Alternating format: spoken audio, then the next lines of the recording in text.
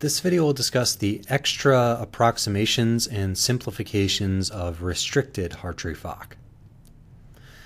So just as we discussed in the video on restricted determinants, for restricted Hartree-Fock, we are going to use restricted determinants.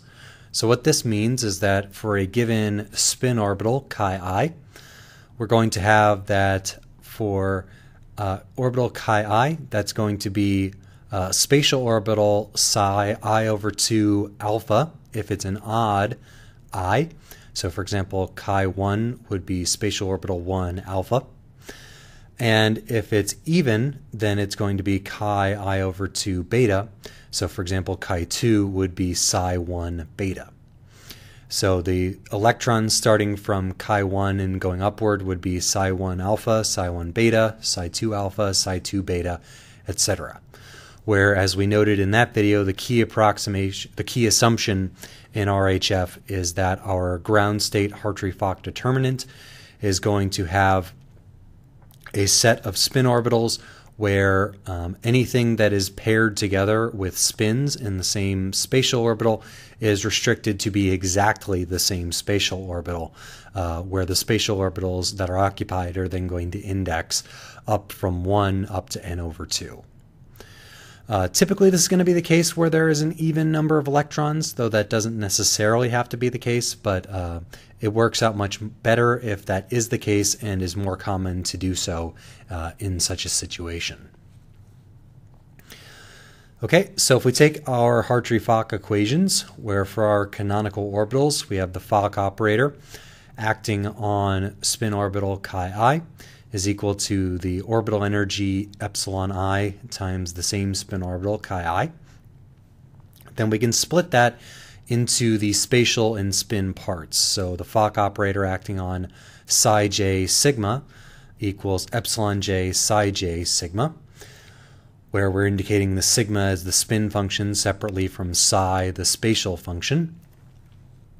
So then, if we wanted to just integrate out spin from the Fock operator and have a Fock operator which is spatial only, then we could do the we could do the following type of integration. So we could say that uh, we're going to left multiply then uh, by sigma star and integrate with respect to the spin coordinate for electron one, and that is what we're going to act on. Uh, that's what we're going to use to act on our psi j, act on our spatial orbital instead of our spin orbital. And that's going to give us the orbital energy of that spatial orbital psi j. Okay, so if we note that our Fock operator in terms of the spin orbital or, or the all spin variables uh, is going to be the one electron is going to be the one electron operators, kinetic energy plus nuclear attraction, uh, which only depends on the spatial part. We already showed in the spin integration video that the one electron the one electron operators don't depend on spin. Plus the two electron operators, which do depend on spin somewhat. We have um, the integral, we have the sum over all the occupied spin orbitals integrated over electron 2 of chi star c 1 over R12, uh, 1 minus permutation operator chi c. So uh, what we're going to have here is the Coulomb minus exchange part, where the Coulomb is going to not depend on spin, but the exchange part will, because the two orbitals that we're exchanging have to have the same spin in order for the exchange integral to not end up being zero. Okay, so moving forward then, um, if we have our Fock operator in terms of the spatial orbitals, that's going to be the, the case where our spin or spin variables is going to be already integrated out.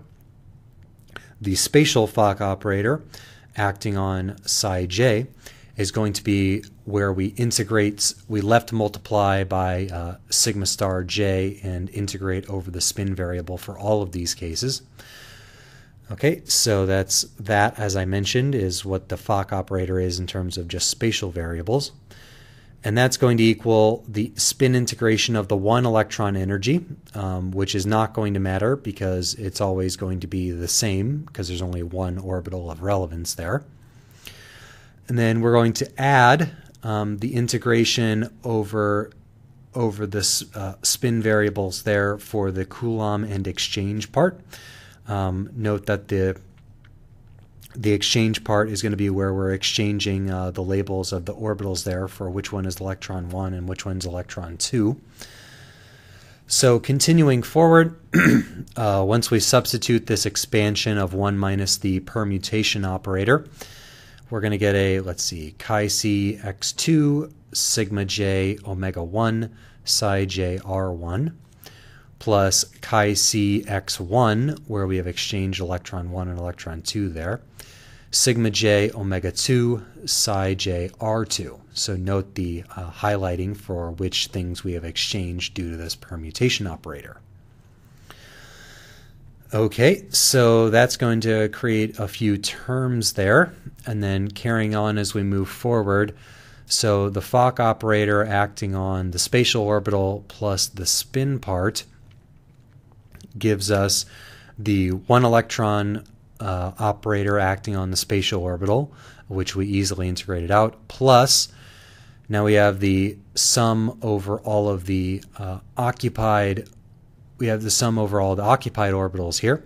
So we're going to include uh, the Coulomb and exchange part for the spin up and spin down electrons in each of the occupied spatial orbitals.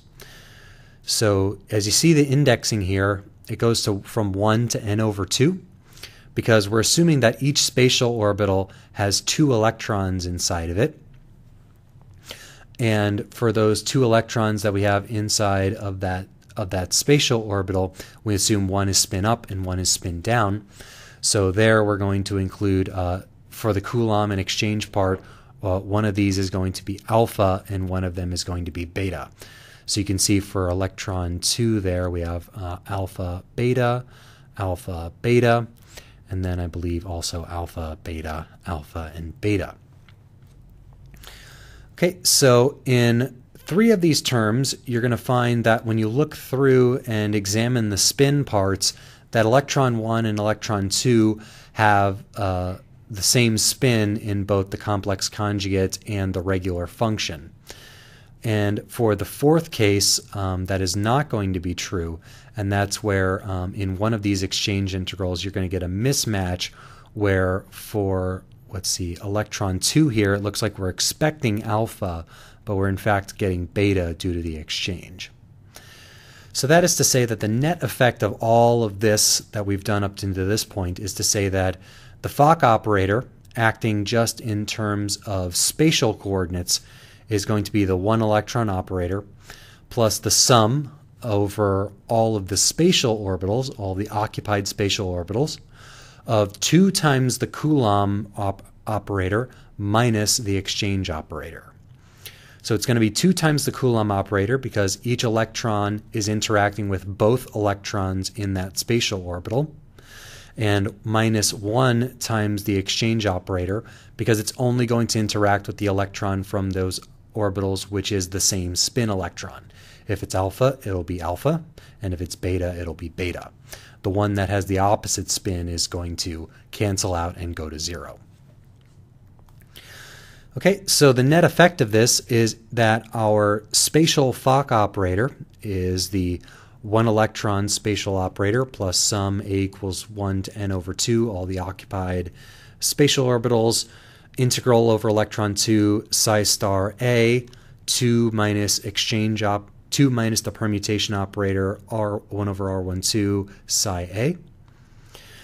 And so once we take that forward all the way to the energy of our ground state determinant, the expectation value integral of the Hamiltonian operator, what we end up getting is that we get 2 times the sum over all the occupied spatial orbitals, because each of them has two electrons, of the one electron energy of that spatial orbital. Notice it's a spatial integral now because we have the regular parentheses. So 2 times that, because there are two of the electrons in each spatial orbital of the one electron energy of that spatial orbital. It's kinetic energy plus nuclear attraction plus sum, uh, double sum, sum A equals 1 to n over 2, B equals 1 to n over 2. Double sum over the occupied spatial orbitals of 2 times the uh, Coulomb spatial integral minus 1 times the uh, exchange spatial integral of the two of those, where one of those exchange integrals has canceled out. So expressing that in an even more uh, concise way, we have 2 sum from 1 to n over 2 of HA, one electron energy of spatial orbital A, plus the double sum of 2 JAB minus KAB, uh, the double sum of 2 times the Coulomb integral of those interacting orbitals minus 1 exchange integral of those orbitals.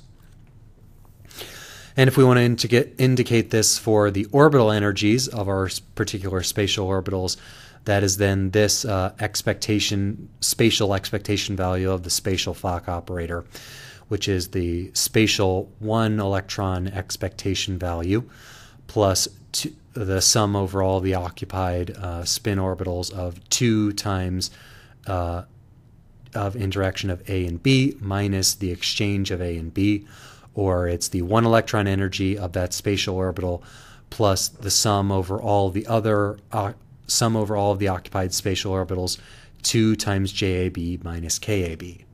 Because for each for each uh, orbital of interest, it is interacting uh, twice due to the two electrons in that orbital, minus once with the same spin uh, exchange that it's interacting with.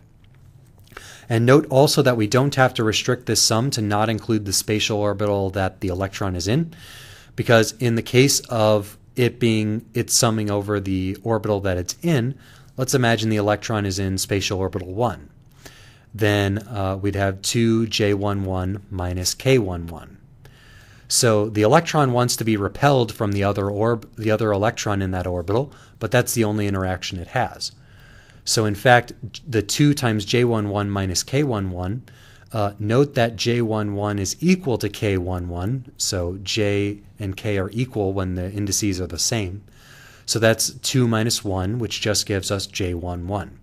So in the case of the same spatial orbital that we're in, it's just repelled to with it's just repelled by the other electron there uh, due to its Coulomb interaction because the equality of the Coulomb and exchange interaction cancels out that extra factor of that Coulomb interaction. So these uh, these expressions are now not only more convenient in terms of going over half of the number of orbitals uh, and simplifying out spin, but we also don't have to worry, again, as we like to not worry about any restrictions in which terms in the summation we're allowed to do.